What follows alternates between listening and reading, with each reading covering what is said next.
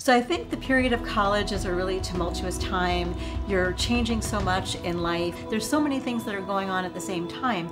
And I think that if you can feel like tomorrow has hope, then it can really get you through the dark moments.